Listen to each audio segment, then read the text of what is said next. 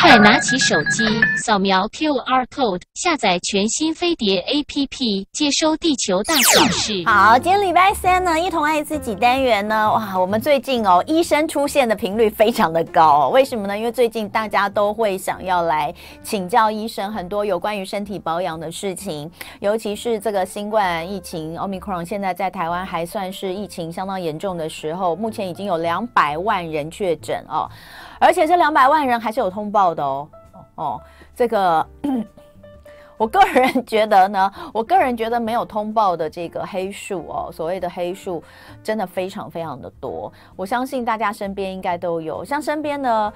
身边的这些有确诊没有通报的朋友会讲的，已经是非常少数的了，所以应该还有很多是他有确诊，然后没有也没有通报。昨天我碰到一个朋友跟他聊，也是聊了半天，他才跟我说，哦，大概在这个四月底的时候，全家都感染过了，讲的我都不知道，不知道有没有。他说没有啦，他说就是一个人有有有症状，然后快筛是阳性，可是其他人呢就没有。呃，有也有症状，但他们就没有特别做什么处理，这样子哈。好，所以呃，我相信大家都有非常多的问题。那我觉得呢，在呃这个时间点哦。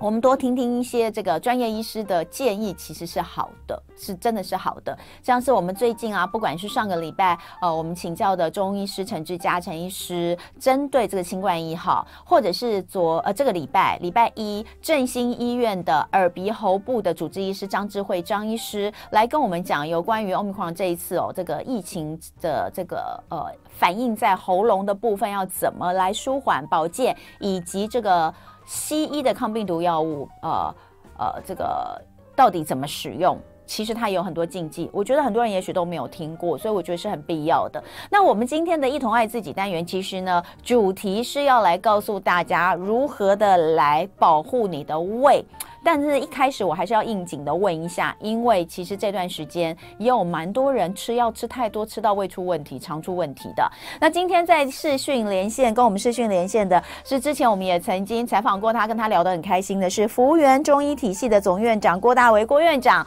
院长早安，晚安早，各位听众朋友大家早。院长，你人在哪里？台中，台中哈，哎，台中，哎，台中，听说接下来中南部，因为现在因为前面都是北部大爆炸嘛，对，然后现在是说这个接下来可能中南部这两三个礼拜的这个案例会稍微再往上走哦，所以这个大家都要保护好自己哦，健康最重要。那呃，其实呃，台湾人，台湾人到底是台湾人还是中国人？好像这个胃病，很多人都说这个胃病好像已经快要不是不能说是一种病，根本就是一种通例，就是很多人的胃都有状况。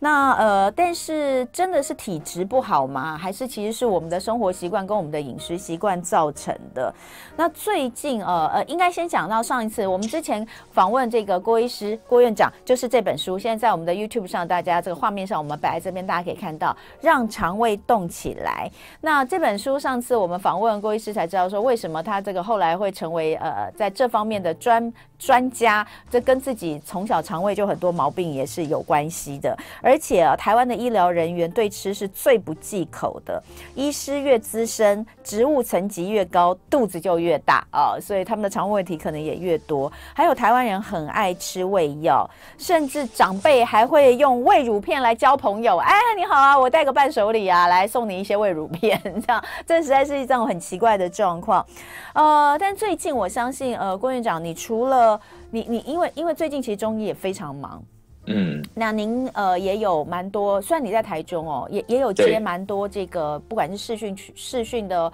问诊等等的，也有很多是呃这个确诊的病患来找你求助的吗？对，很多最近的确感受到这个疫情啊，慢慢的往我们中南部来呃移动了哈。所以在门诊里面，我们除了一般的门诊之外，也会接的确诊的视讯问诊，那同时也会接一般门诊的确诊的会诊。哦，包括像有一些他是确诊的家属，有一些是确诊的个案。那就像刚刚同文你讲的，有一些是呃，他可能还在担心的阶段，他就开始要想要服药。那有一些当时我们听一些呃。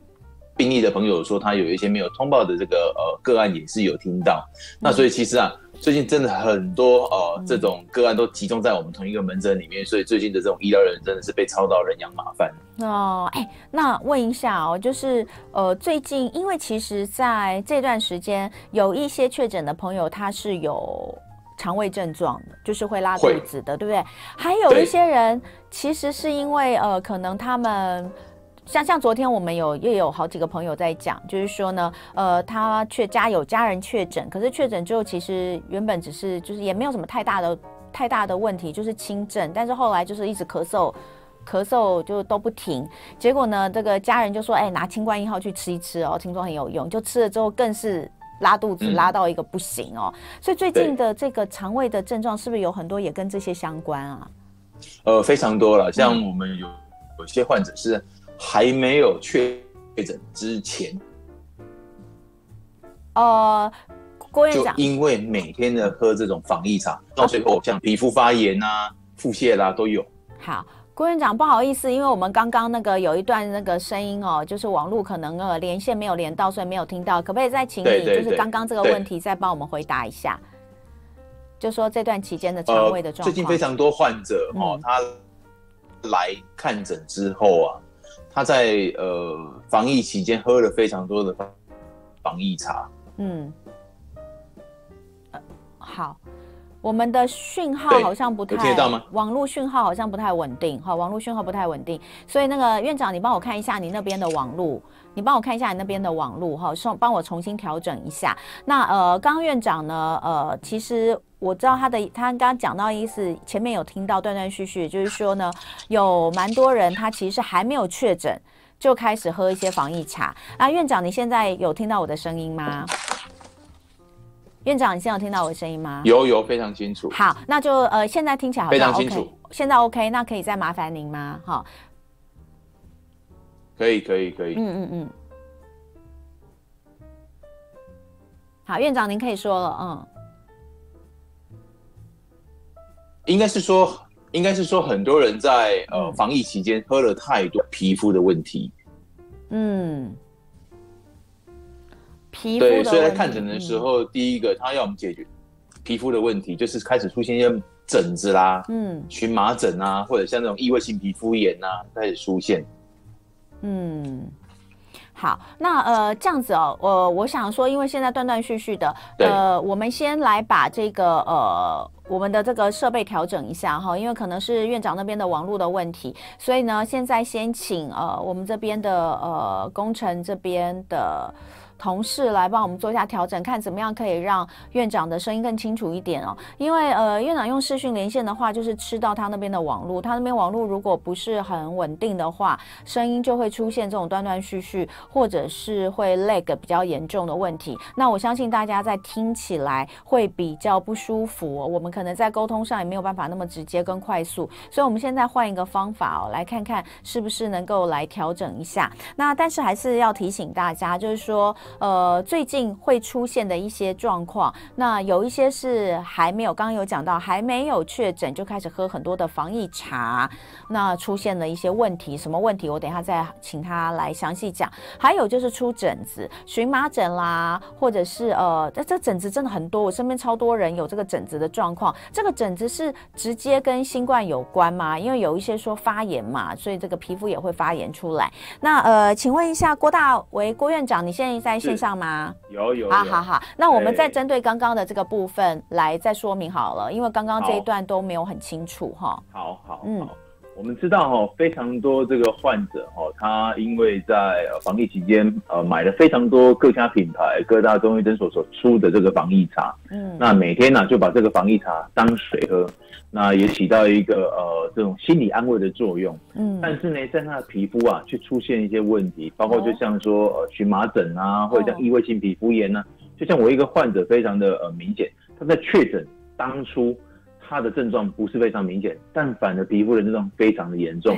那我就问他说：“你平常都喝什么东西？”他说：“自从防疫一刚开始，他就开始囤了非常多防疫茶，每天喝，天天喝，也介绍家里的。”这种亲朋好友喝。嗯，那我就问他说：“那你喝的茶是哪一类？可以拿给我看。”其实啊，里面不外乎像一些清热解毒，或者我们中医讲的这种解表哦、疏风的一个药物，就很像说，平常你没有感冒，但是你却每天吃普拿疼，吃这种解热镇痛剂来预防感冒，这是不对的。对这，会让我们的免疫力，这会让我们的身体出现一些改变。因为中医所谓的这种解表散寒或者祛风解表的主要作用，就是说，当我们身体里面有病毒入侵的时候，我们把它往外播散出去。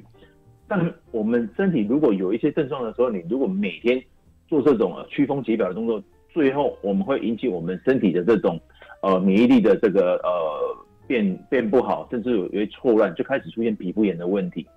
当然有一些也会出现在肠胃的问题，所以我们常说啊，我们脾胃好人不老。那有诸内地行诸外，意思就是说，当我们的肠道出问题，一定会有一些问题表现在皮肤上面。对，果不其然，这些患者因为长时间的吃这些比较寒凉性的药材，包括像连翘啦、鱼腥草啦、板蓝根啊，甚至有些会吃到冠状这一类啊比较清热解毒用药之后，让他的肠胃啊开始出现一些反弹，让肠胃的一个问题表现在皮肤上面，就开始出现非常多荨麻疹的问题。嗯，对，所以啊，郭院长，你之前应该有看到我的新闻吧？哦是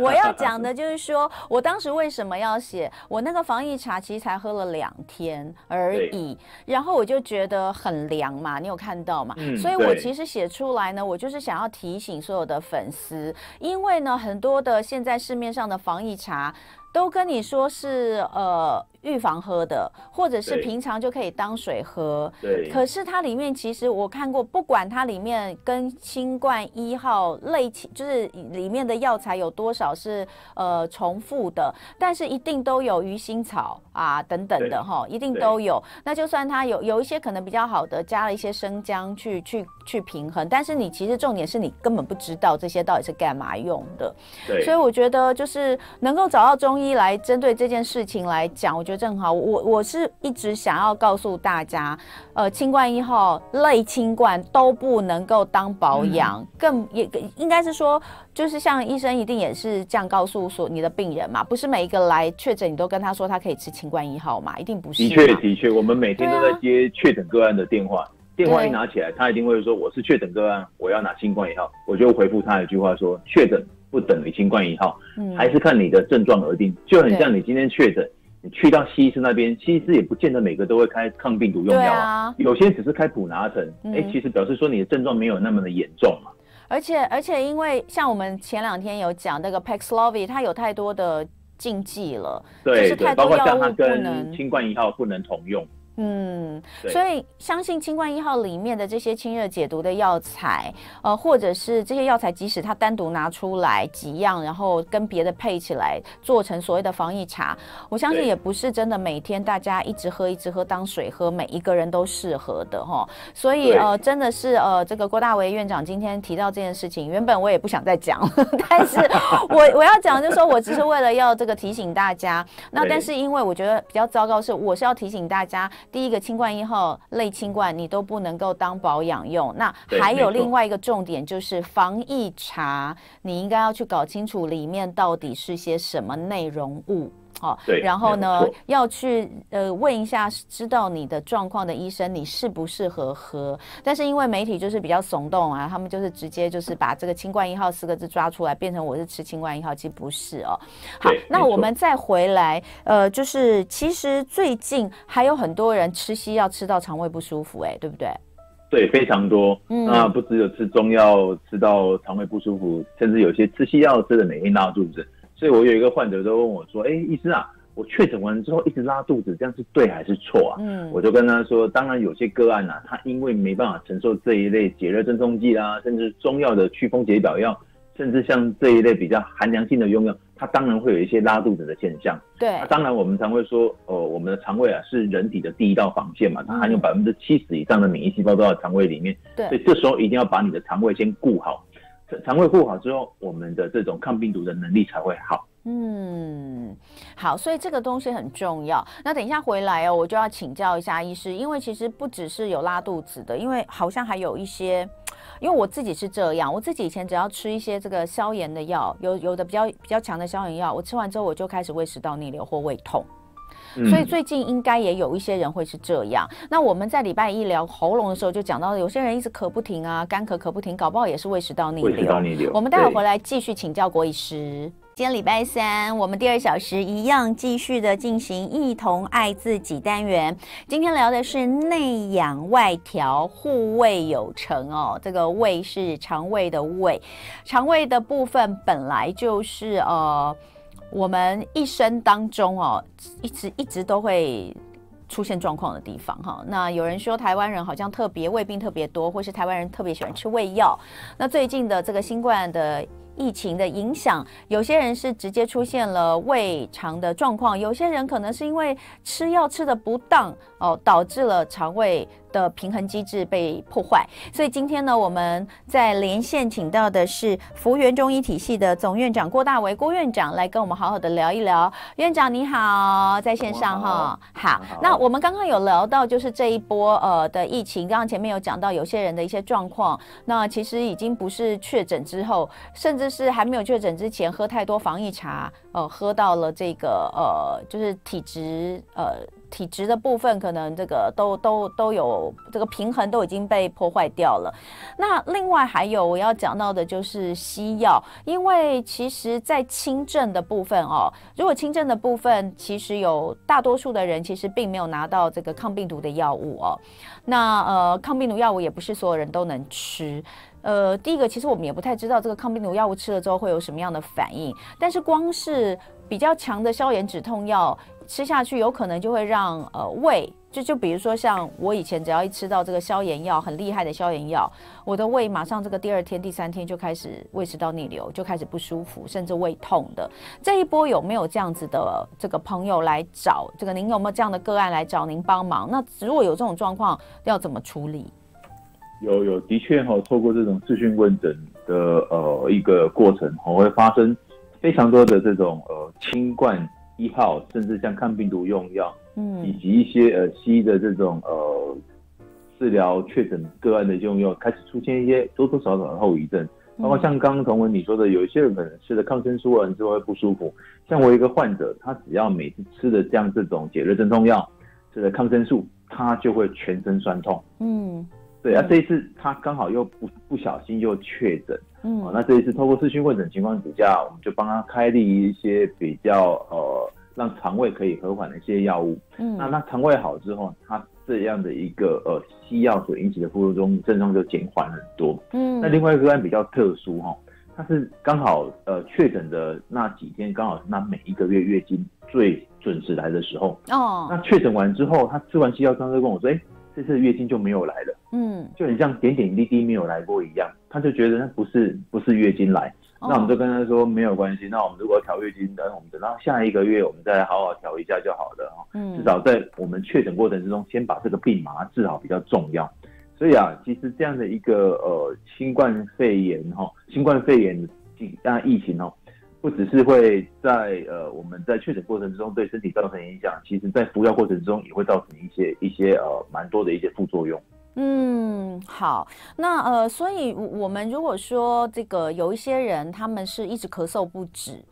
后面一直咳嗽不止，呃，从中医来看，有没有可能是因为胃食道逆流引起的？在吃了这些药物之后，呃，当然有可能，好嗯像我们常说咳嗽有几种原因嘛，鼻涕倒流、胃食道逆流、气喘都有可能。那有些是因为他呃感冒完之后合并所谓的气喘，也会诱发像这样的一个咳嗽。那像这样的一个呃胃食道逆流引起的咳嗽，其实啊，在确诊个案在进入自主健康管理期是最常见的、哦。为什么？因为有一些人在呃隔离期间，他饮食非常的节制，嗯那等到开始吃东西完之后，他就开始哎、吃回原来正常的东西，哦所以我们常会跟这些确诊个案说，在你前几天发高烧、喉咙很痛的时候，不能吃你想吃的东西。等到这个喉咙痛开始减退完之后，你如果要恢复正常饮食啊，麻烦你慢慢的恢复，不要一刚开始就喝珍珠奶茶，不要一刚开始就吃粽子，或者吃一些比较滋腻、比较难以消化的东西。对对对，这些啊都会影响到我们的肠胃。当然，肠胃不好，咳嗽就不会好。所以，在我们呃个案里面，其实有一个弟弟，他是八岁左右，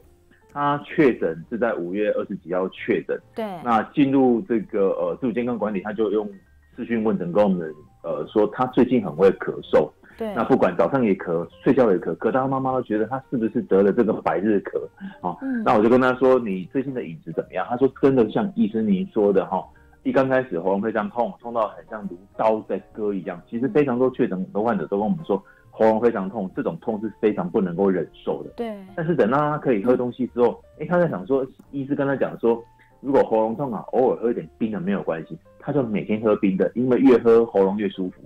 等到他自主健康管理期的时候，开始出现咳嗽的症状，那其实这个症状啊，就很典型的，像吹到风也咳，晚上睡觉也咳。那我们中医就会跟他说，那我们就帮你开一些比较润肺化痰止咳的一个用药。嗯，那基本上就像小青龙汤也可以啦，多加一点像贝母啦、甘草、桔梗。那在呃几天用药完之后，患者就跟我们说，哎，真的最近哎这个咳嗽变得比较和缓，嗯睡眠也睡得比较安稳。哇，所以啊，其实我常会跟患者说啊，确诊那七天，不管你是十加七、七加七，嗯，前面的七天都不是很重要，重点就是他后面那七天和之后的一些身体的调养才是重要。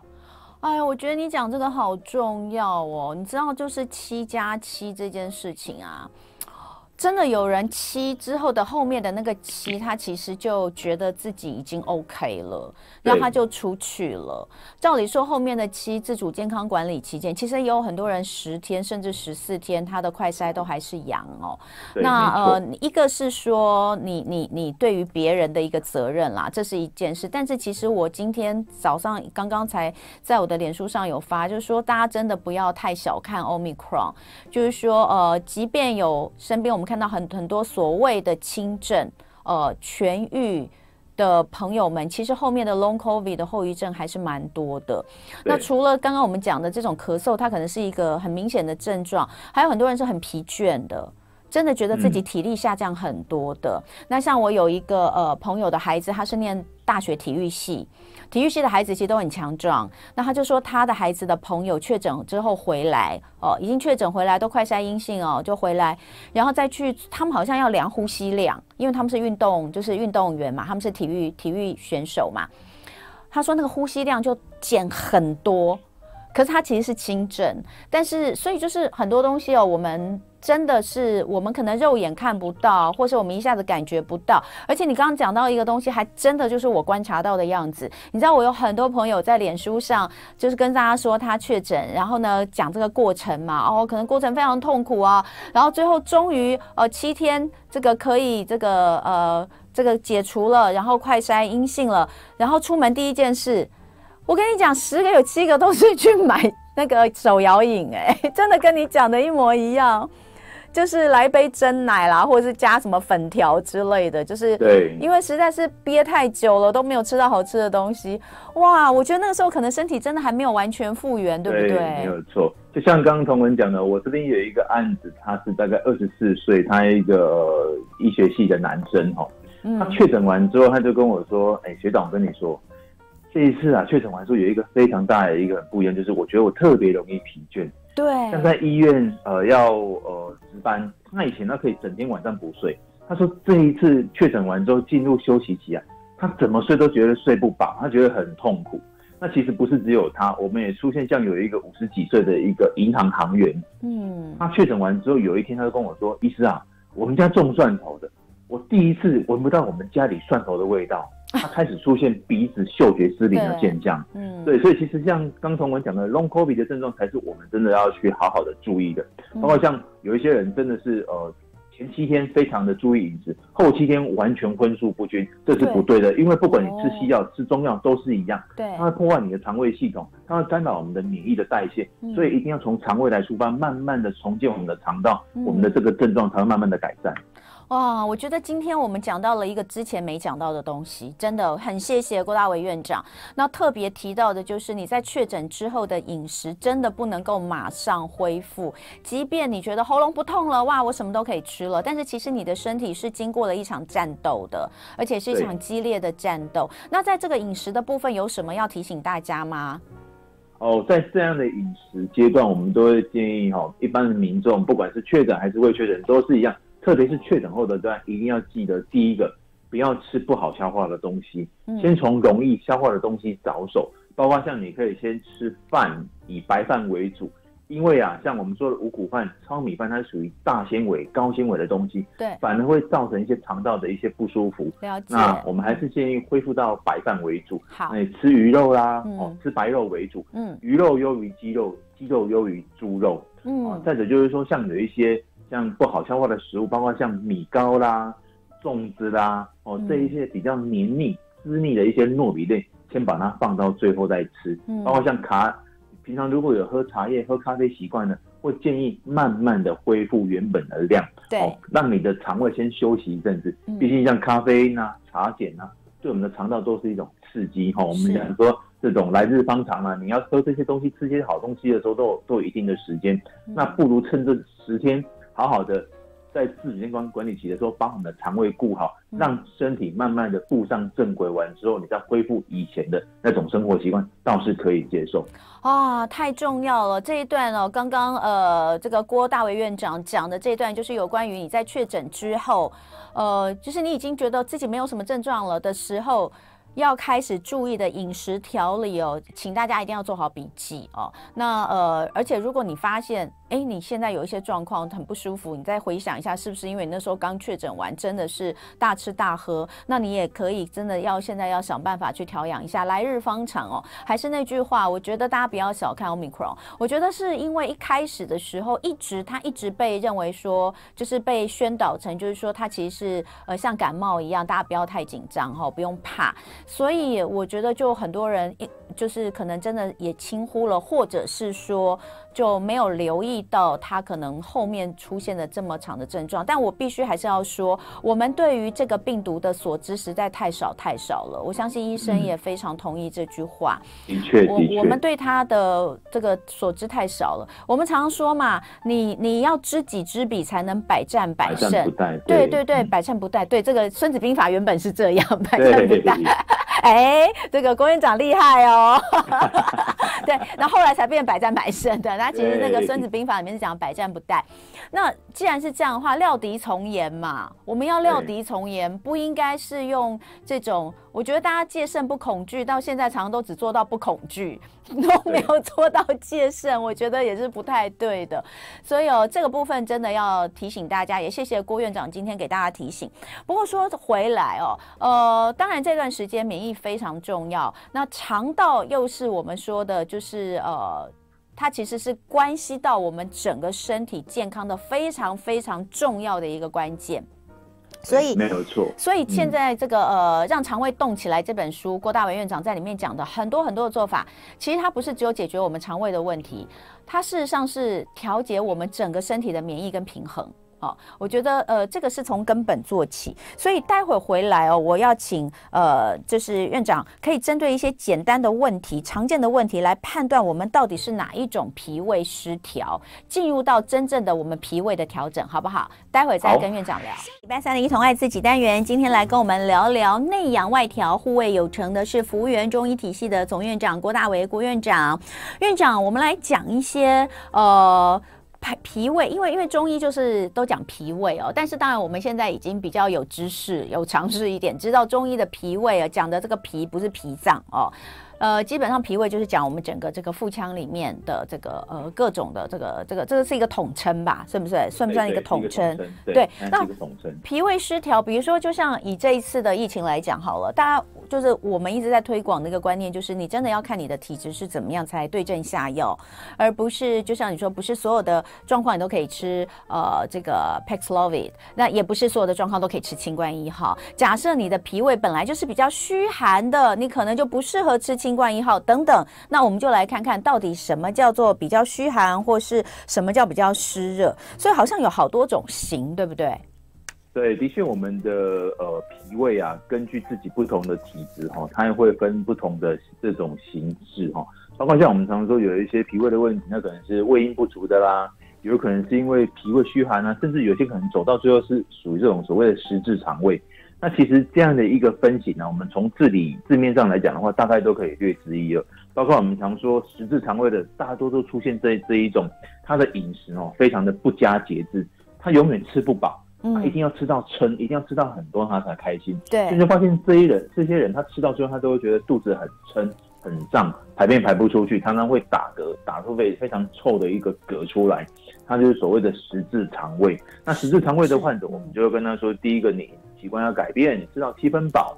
那再来，哎，我们吃完饭之后啊，你可以走一走，或按摩一下肚子，让肠道啊休息一下，因为你每一次啊都把你的肠道撑吃的这么撑，让他的工作量加重，我们人都没办法在长期高压之下工作，更何况我们的肠胃。嗯，那这样再下来，像有一些胃阴不足，胃阴不足的人，他比较常会有口干舌燥的现象，然后，那有些时候你会发现他常常会有这种肚子胀气啦，消化很不良啊。到最后，他可能会跟你说，常常觉得吃不下，排便又觉得排不出来，大便又很干，这类属于所谓的胃阴不足。胃阴不足，你把它可以想象成，哎，肠胃里面的一些消化液不足，就像我们常说的哈，一个人肠道里面的胃酸分泌不足也会出现问题嘛，哈，所以我们常说，呃，肠胃或者说脾胃是我们人体最大的一个免疫的器官，也是最大的一个呃防护力的防线。嗯，当我们肠道出了问题，其实人也会出现非常多问题，包括像我们。呃，耳熟能详的肠漏症，它会影响到我们的大脑的问题，包括像呃，巴金森氏症啊、阿兹海默症都有可能。对，就像我们在这一次疫情底下，我也我也从门诊里面发现哦，有一些他本来肠胃不好的患者，他在确诊后，他的症状啊，也真的是千奇百怪。就像我们刚刚常说的，有一个患者他本身就有过敏性鼻炎，哎，他确诊完之后，他反而比较容易出现嗅觉失灵的问题。哦，那有一些他平常就容易腹泻的患者，他确诊完之后。他也很容易出现一些这种喉咙不舒服啦，像或者像干呕的现象，甚至他吃太多像这种抗病毒用药，他反而也会出现腹泻的问题，表示说他本来肠胃就不好消化吸收，对，他要承受这样的一个比较重的药，他更是没办法消化吸收。是，那像我们台湾是属于这种呃亚热带地区，大家很都很喜欢手。人人手上一杯手摇饮，所以会出现非常多的所谓的肠胃的湿热。肠胃肠胃的湿热就很好分辨，就是说他又喜欢吃油炸的，又喜欢吃辣的，那之后又喜欢来一杯啤酒啦、手摇饮呢，造成身体常常会觉得很疲倦。那你会发现这样的一个人，然后他排便，他都跟你说排便很黏，会黏在马桶上，甚至啊，他会觉得大便怎么大都大不干净，这是所谓的肠胃湿热型的患者，这在台湾里面呢占的绝大多数，然后。那有一些是寒湿阻滞，这在女孩子里面比较常会出现，因为女孩子有些时候她为了身材的曼妙，想要呃维持良好的体态，她有些时候可能会采取所谓的这种呃轻食疗法，嗯，比较吃比较清淡的东西，甚至说早餐都是以这种呃蔬果类为主食，他完全不碰热的东西，他只吃蔬菜，只吃水果，到最后导致身体哦呈现一个所谓的寒湿阻滞的现象，嗯，绝大多数都会跟你说月经来的时候。这种呃会痛啊，或者是排卵期的时候分泌物很多啊，那常常你摸它的时候，把脉的时候就很像摸到这种呃非常冰的这种呃人一样，就会发现他手脚会冰冷。嗯，所以啊，像这种寒湿阻滞啊，其实女孩子还蛮常见的哈。嗯，那肝胃不和，我发现有一些患者特别容易出现，就是那种在高压底下工作的患者，因为他有些时候呃压力一来，他非要把这个事情做完，他才愿意吃饭。那你就会发现他好像就是有一餐没一餐。嗯，那他每一次吃饭的时候，他又喜欢吃饭配工作，喝咖啡来支撑体力，所以你就发现这一些人永远都在跟你喊肚子痛。他肚子痛的原因是来自于他饮食不正常，他完全没有给自己一个好好的时间跟食物相处，他的食物永远跟他的工作是伴随在一起的。这其实什么人最常见？包括像洪文你们。这样呃，努力的这种，对这种很很辛辛苦的这种呃媒体工作者，嗯，就是像医师也都是一样，我们真的不知道什么叫美食。对啊，就是常常就是有东西驾驭就好了，就是对，所以我们常常很很多患者都跟我们开玩笑说啊，你们食物真的是借鬼，你看，就是哎借着你的喉咙进入到肠胃。没有啦，我觉得你吃过什么？我觉得医生哦，医生哦，如果说那个可以跟太空人一样，就比如说吃几颗东西哦，就可以维持身体体力，医生应该就会这么做。对，我们常开玩笑说，医师最是最适合用鼻胃管管灌的，因为省去了这种咀嚼的能力，只用管灌的最好。太辛苦了，嗯。因为有些时候在下午诊接完诊的时候，大概只有五五分钟、十分钟可以吃东西，所以我们我有些时候根本就是囫囵吞枣。对。你就发现为什么我们刚开始哈，总有人会说，医师啊，随着他的职务阶级越高，他的肚子越大，不是因为他吃太好，而是因为他没有时间运动。又太少时间咀嚼东西，看他所有的东西都吃到肚子里面之后，又坐着开始看诊。对对，好，还有一个是很常听到的，叫做脾胃虚寒型。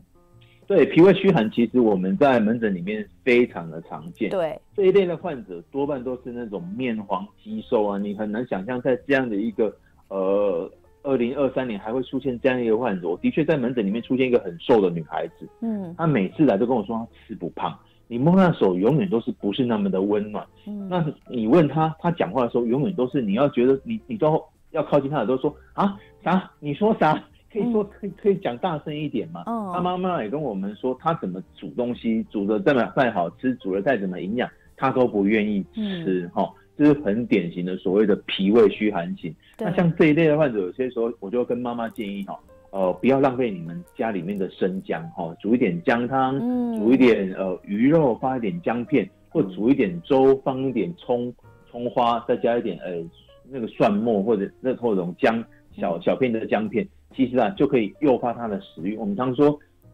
姜它可以温胃止呕嘛，那嗯这样的一个情况之下，慢慢的他手脚温暖起来之后，他肠胃吸收的好之后，他就愿意吃东西，嗯。愿意吃东西，他身体得到营养，脾胃好，当然他的肌肉啦、骨头啦，就慢慢的恢复正常的一个健壮以及饱满。嗯，哎呀，我觉得，我觉得郭院长讲的好清楚哦，把这个中医常常会讲的这六种型哦，就是非常清楚的用症状来告诉大家，胃阴不足型，就是口干舌燥。很可能就是这种脾胃虚寒，就是面黄肌瘦、吃不胖、手脚冰冷的。然后呢，肠胃湿热的，就是喜欢吃油炸的、辣的、冰的，你就会特别容易觉得疲倦啦，大便是黏的啦，大不干净。这一型我觉得非常多，而且我觉得好多青少年都是这一型的耶。对，而且这一型哦，脸上都多半有一点痘痘。对，青少年他除了是这个荷尔蒙分泌的关系，他们的饮食的习惯好像真的也是这个样子哈。对然后再来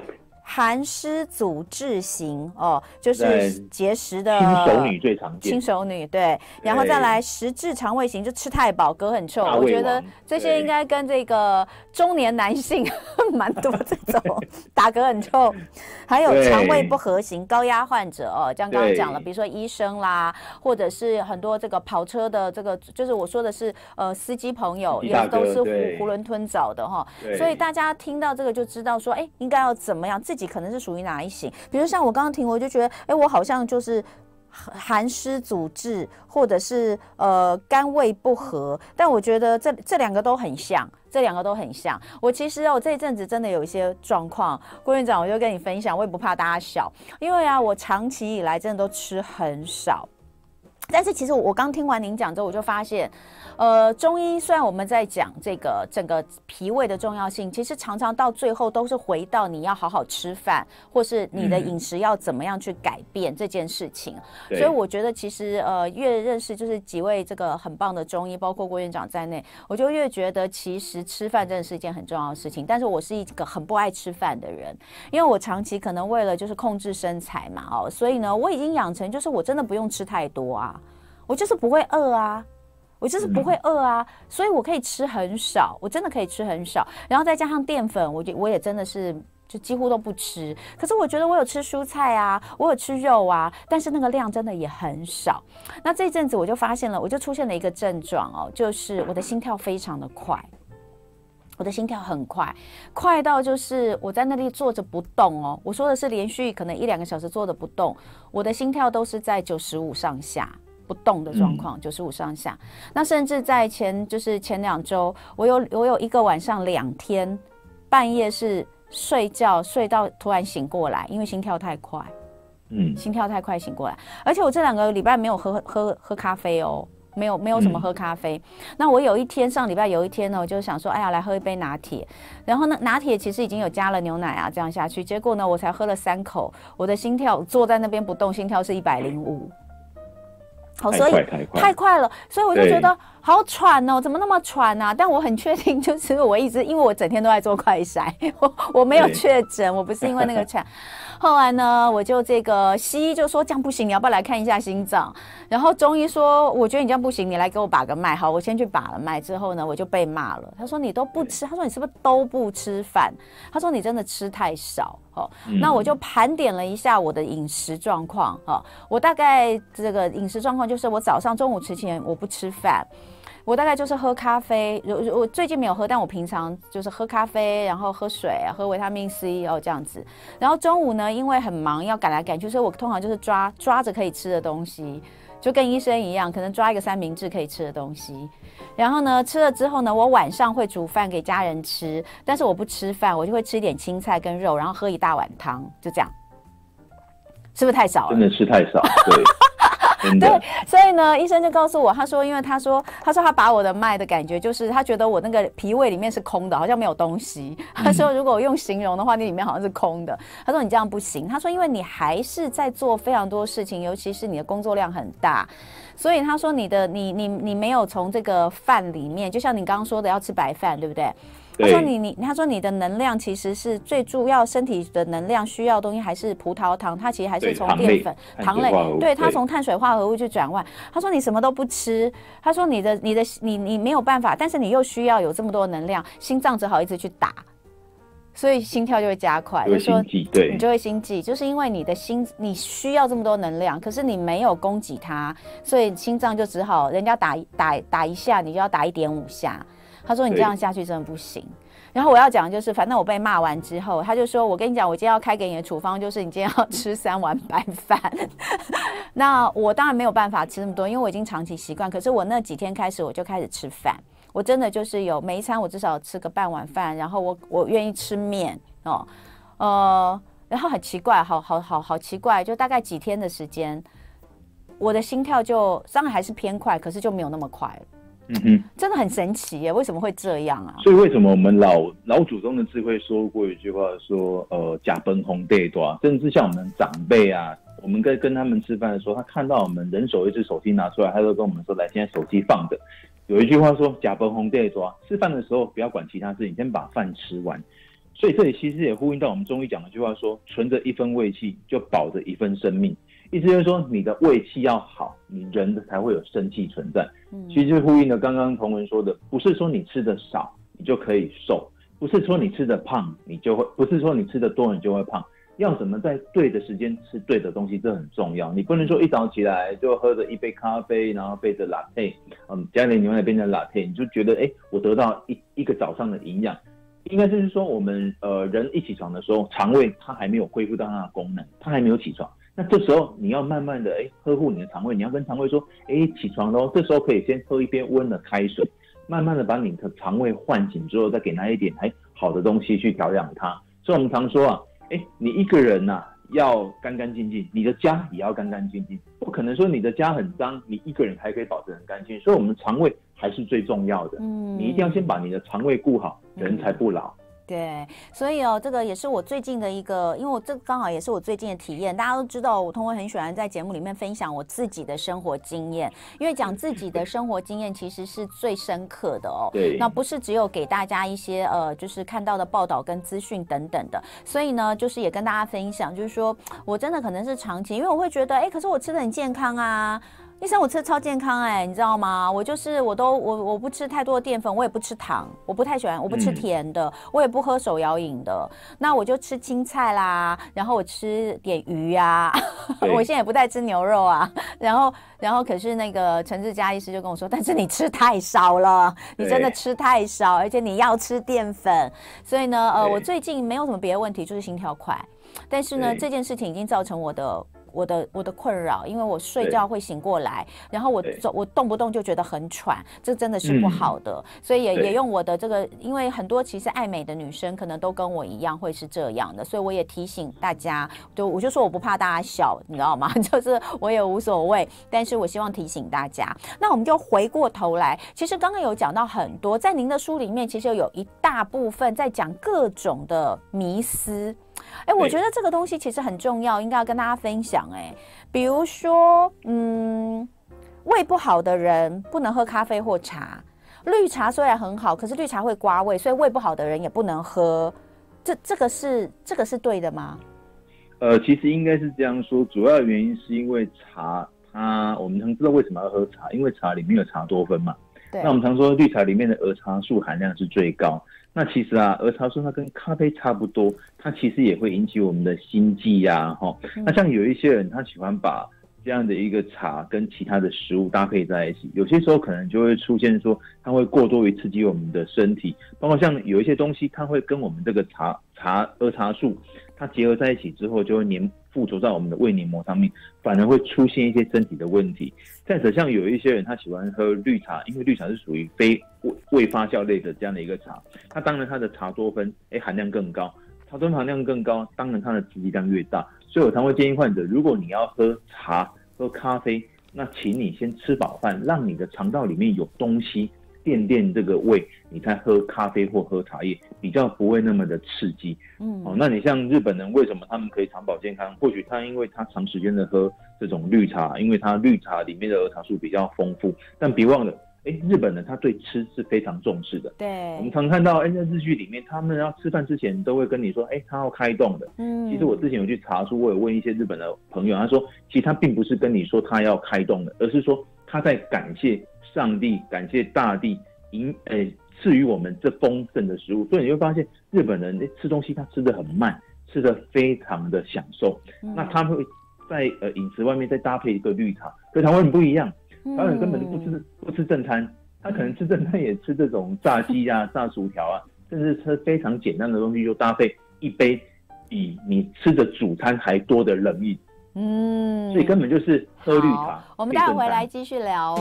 今天礼拜三的一同爱自己非常开心，我们请到的是现在人在台中的福源中医体系的总院长郭大为郭院长来跟我们聊一下有关于内养外调、护胃有成，也是他所出的这本《让肠胃动起来》这本书里面，其实有非常多很棒的观念要来分享给大家。那刚刚其实呃，我要先先讲一下，就是呃，我们今天在 YouTube 上面有很多朋友有留言问的问题，我待会儿都会呃来请教院长。所以包括刚刚有一些人讲的是在这一次确诊之后的一些状况，或者是都是跟肠胃有关的，或者是他已经有长期胃食道逆流的状况。那这些我等一下都会找时间来跟院长来请教。那同样的，听众朋友们，如果你也有一些问题想要趁着这个机会来请教院长，欢迎你现在可以打开你的手机或平板，呃，上 YouTube 来搜寻飞碟联播网正在直播的节目，就是同文的生活同乐会。你也可以在这里留言，我也会把这个呃问题哦，再等一下这个赶快找时间来请教院长。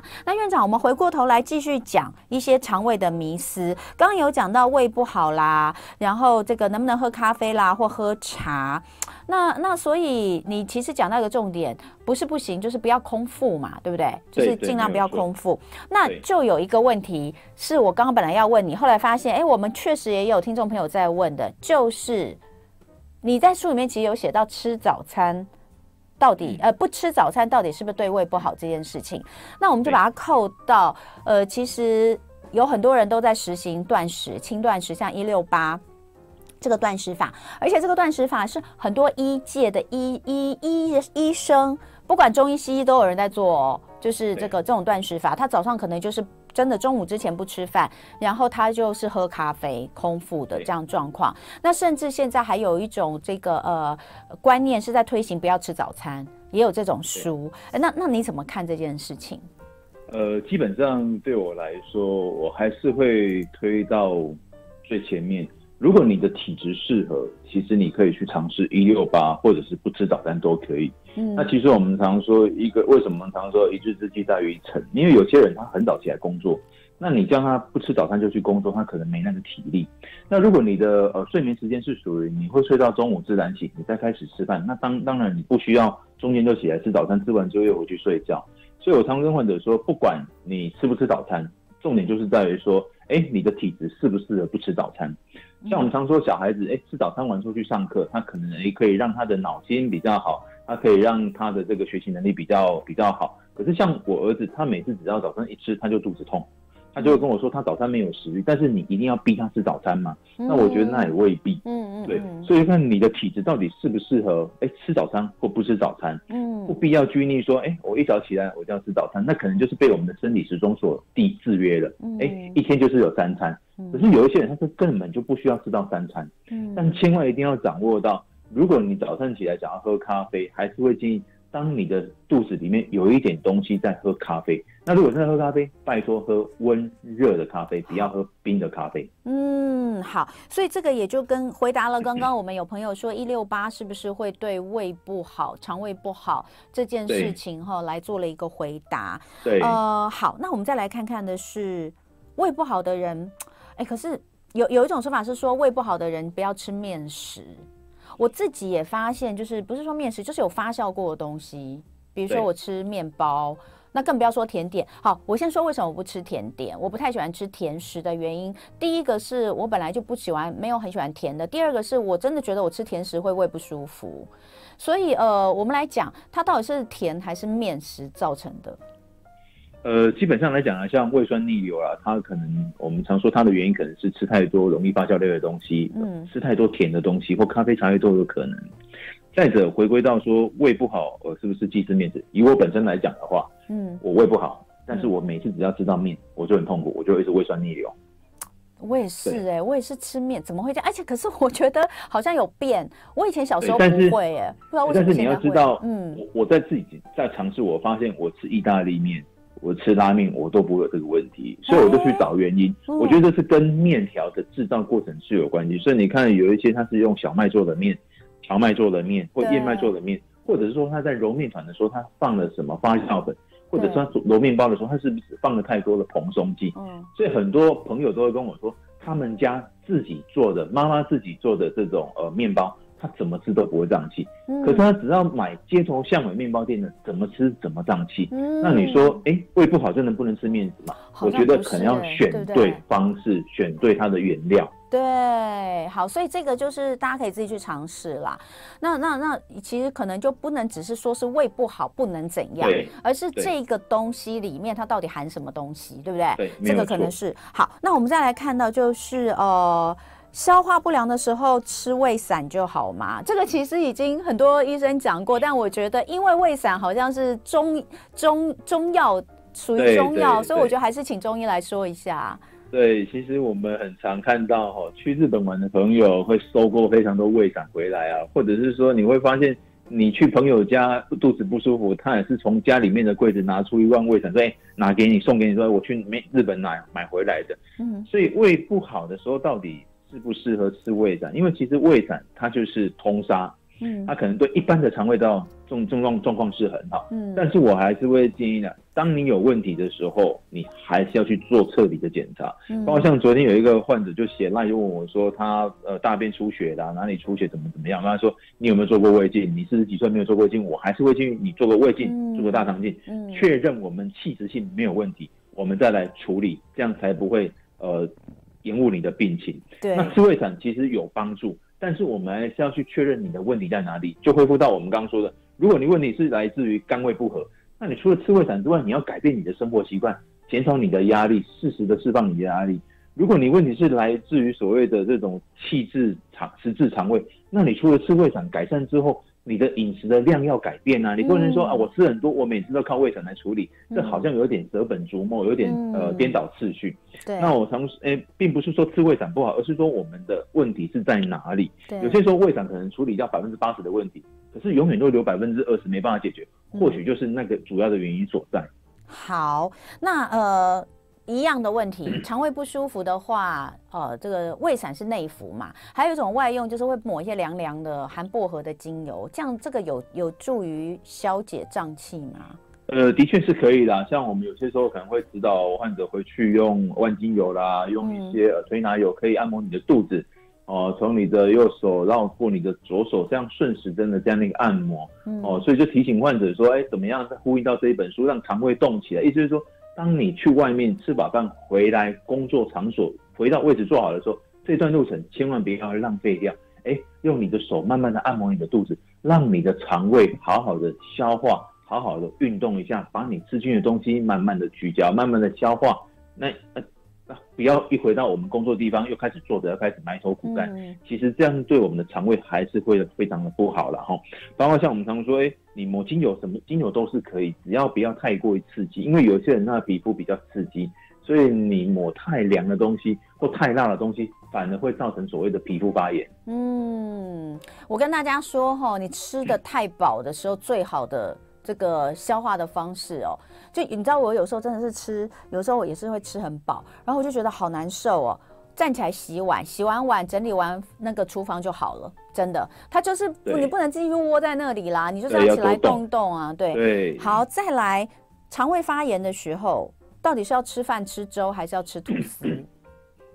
呃，当然我们常就就有分嘛哈。当你急性发炎的时候，饭呢、粥啦都先不要吃，这时候可能就喝一些流质的东西，喝一些低渣的东西，不要。喝那种榨榨榨的果汁哈，因为榨的果汁里面含有太多果粒，反而更容易引起肠胃的发炎。那如果进入所谓的慢性发炎期的时候，慢慢的让我们的肠胃恢复它原本的这个工作的能力，你可以先吃一点白粥哦，煮的非常软烂那一种，包括像我们常说，哎，上面有一层这种所谓的这种呃粥水哦，喝这个粥水效果也是不错。那如果要吃饭，建议你吃白饭。或者是像吃吃吐司的时候吃白吐司，进行所谓的低渣饮食，慢慢的让肠胃恢复它的功用。因为其实我们中医讲一句话，为什么我们的脾胃跟我们的五官呃五脏六腑有关系？因为中医讲一句话就是说，饮食入于胃，游于精气，上输于脾，脾气散精，上归于肺，通调水道，下输膀胱。所以你就可以从这句话知道说。为什么中医这么强调的脾胃？因为脾胃跟五脏六腑都有非常大的相关，包括像女孩子下肢水肿、泌尿道不通，其实也跟脾胃相关系。嗯，好，那再来我们就来看到的是，呃，胃食道逆流这件事情，实在太多人有胃食道逆流的问题了。呃，请问有一种说法说胃食道逆流的人睡觉的时候左侧睡会比较好，这是真的吗？的确，很多患者都会进来问我说：“我是不是应该要朝左侧睡啊？”他在哪一个文章里面看到？其实我是觉得往左往右都没有关系，因为本身我也是胃食道逆流很严重的人。嗯，那基本上你第一个一定要先搞清楚为什么你胃食道逆流，咖啡啊、茶叶啊、饮食啊都不要吃太多。嗯，饮食七分饱，吃饱饭之后不要马上躺着睡觉，那总比你。把自己的肠胃道搞得非常差，胃食道逆流很严重，你才考虑到，哎，我现在到底要左侧睡还是右侧睡？那其实我觉得睡觉的时候，你左侧睡、右侧睡都是一样的。嗯，好，那我们就继续胃食道逆流，因为有好多人在问胃食道逆流问题。接下来我就要来把我们这个呃 YouTube 上面的问题哦，来来请教一下这个，请教一下这个院长哈。来，我们先来讲到，我刚刚有看到呃，这个胃食道逆流。他是说呢，他胃食道逆流，呃，之前的症状是会咳嗽，经过治疗有改善，但是他在 COVID-19 确诊完之后，咳嗽一直持续，而且都是在特定时段会比较严重。不知道这是不是因为确诊造成了他的胃食道逆流复发了呢？呃，我们说胃食道逆流，有一部分人他并不会有非常明显的会血心、火烧心。胸口闷，或像那种胃酸逆流现象，有些人的胃酸逆流，它是以慢性咽喉逆流症状来呈现。就像有一些人可能跟他讲话的时候，常常会，这其实不是慢性咽，这这其实不是喉咙有痰诶，它是因为长时间的胃食道逆流引起所谓的慢性的咽喉逆流。那这时候他可能遇到感冒。遇到口鼻耐性这一类侵犯我们的肺部、侵犯我们的这种呼吸道的时候，它这个症症状会更加的明显。所以越在这个时候，你饮食越是要改变。所以我们刚才会呼吁一般的人，当你确诊之后，你的饮食真的要跟着改变。嗯。饮食要跟着改变，吃清淡一点，然后尽量不要去吃太多刺激的东西，对不对？对。哦，太甜的也不要喝。太甜的不要喝，不要吃。对，包括像我们现在夏季啊，嗯，西瓜很多，西瓜暂时先不要吃。太凉的水果不要吃，是不是？对，而且西瓜很甜。哦，然后生菜类的先不要吃，生食类的先不要吃。还有一位他说，他最近也一直被胃食道逆流困扰，甚至影响到耳咽管了。他说：“这也是第一次知道有少数人可能会发生，让他整个脸都肿胀，耳朵听声音都会蒙蒙的。这是不是你刚刚说到的的这个，就是影响到什么耳咽发炎、咽喉发炎啊、咽管发炎？对，所以我们中医常会说，哈，呃，清阳不升，浊阴不降。当你的肠道消化系统不好的时候，哎，不好的东西下不去，好的东西就上不来。尽管你吃了非常营养的东西。”那营养东西吃到肠胃里面，它没办法把这个营养的物质往上送，所以有些人会出现耳鸣啊，有些人会出现心悸啦，有些人会出现头晕这种状况，都是有可能出现。所以它追追根究底，他的问题还是在于肠胃啊，你的肠胃问题没解决，这样的问题是不会改善的。哦，所以真的这个刚好就是就是刚刚呼应了刚刚这个郭医师讲的哈，然后还有人说，呃，他每天睡觉睡下来之后，常常需要坐起来吐痰，这个跟胃食道逆流很很有关吗？他说呢，有一个亲戚这样已经很多年了，每一次他都叫他去检查，可是他都回说那是鼻涕倒流生出来的痰，问题是他没有鼻子症状啊。然后他晚餐的时候常常吃大量的淀粉类跟很甜的水果，有没有可能是胃食道逆流？